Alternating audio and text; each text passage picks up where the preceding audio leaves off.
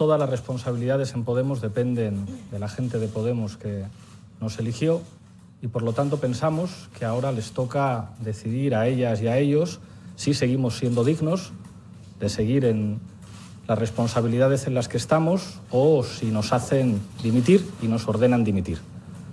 Deben ser los inscritos y las inscritas los que decidan si debemos seguir siendo secretario general y portavoz parlamentaria y si seguimos siendo diputados. Y hemos decidido preguntarles. La pregunta que vamos a hacerles es, ¿consideras que Pablo Iglesias e Irene Montero deben seguir al frente de la Secretaría General de Podemos y de la portavocía parlamentaria? Y habrá dos opciones de respuesta. Sí, deben seguir. No, deben dimitir de la Secretaría General y de la portavocía parlamentaria y dejar el acta de diputados.